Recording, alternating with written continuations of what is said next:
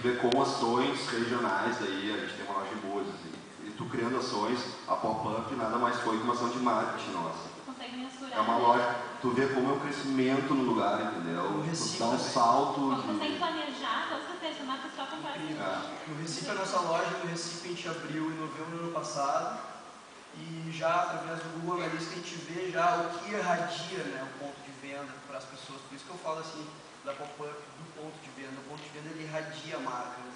É super importante, assim, sabe? É, ele, ele é importante. Então, hoje o Recife já é praticamente a segunda praça que mais acessa o site. Então, daí tu começa a perceber que tem realmente uma lógica, né? Tem uma lógica entre, ponto, eh, entre a estratégia do ponto de venda, o site, a coleção. Então, Tudo converge.